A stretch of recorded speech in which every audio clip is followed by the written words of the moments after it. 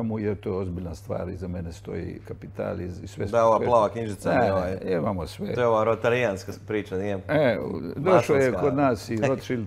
Rothschild, da. Rothschild je bio, znači svi su... Kako je Baron Rothschild, ono, mislim, pa to je, to je možda zanimljivo za gledatelje.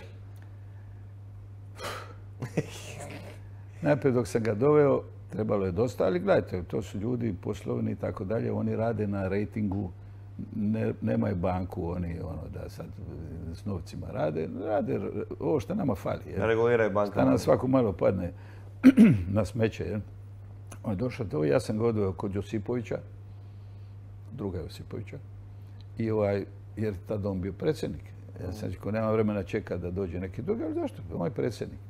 I on je organizirao sastanak i našli su se gore, ovaj, ja nisam htio poći, nego sam poslao sina koji je isto Londonac. Ovaj, I našli su se, došao je Linić, drug Linić, došao je ovaj mali, što nosi torbu u Rohatinskom, koji je sada šef na, Ovaj mason, da, kao... ovaj, kako se zove? Ma, što, kao, sad su ga smijenili zbog masonerije, gluposti. Ne, ne, ne taj. Ne, nego je došao ovaj Narodna banka. Berislav? Be- Ne, Narodna banka. E, pa za njega, da, da.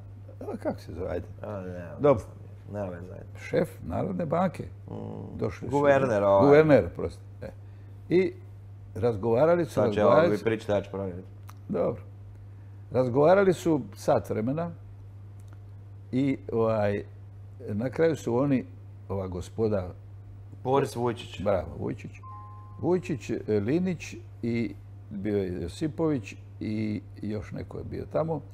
I ovaj, oni su rekli gospodinu Barunu da njima baš i ne treba neka pomoć velika, da oni sve to znaju. Oni znaju odlično. I on se lijepo vratio, došao k meni u kancelariju i rekao mi, slušaj, ovo sam sad jednom bio u Hrvatskoj i nikad više. Kori, ovi nisu normalni. Jer pazite, on njima ne nudi, ne nudi on njima čudesa, niti nudi novce, nego on nudi uslugu da im kod Moody'sa, kod ovih koji nam određuju rating, sredi da imamo rating viši. A znate šta to znači?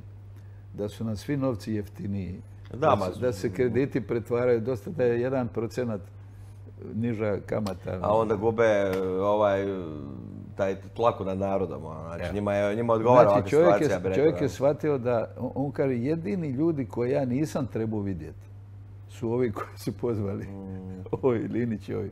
Jer oni su protiv toga. Oni hoće raditi što oni rade.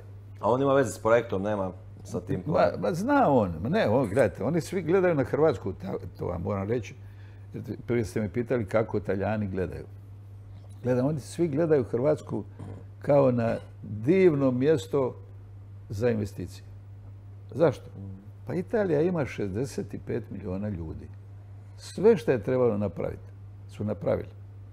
Znači tamo sad oni mogu samo proizvoditi modu, ovo ono, prodavati i tu su prvaci. Ali mi imamo još infrastrukturu urediti koja nije ni blizu došla talijanskoj. E, tu ima posla 30 godina. I jedan od strateških naših ciljeva, znate zašto kažem strateški, da ne bi sad mislili da ja bubetam neke velike riječi.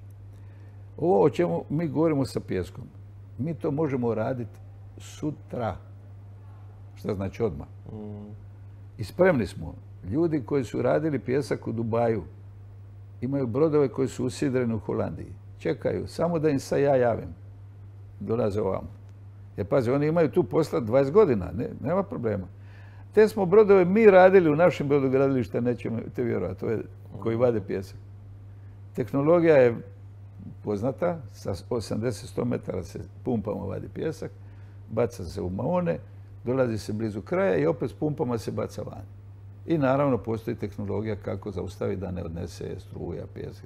Ali to ljudi rade svakodnevno. I, da, i, mi bi kroz, pa šta znam, ću reći, par godina, ne smijem sad pretjeravati, napravili možda 10-15 plaža. Ne treba nam više velikih plaža koje bi privukle ljude. A onda bi kasnije opet išli dalje u ovom projektu. Tisuću ih ima, ej.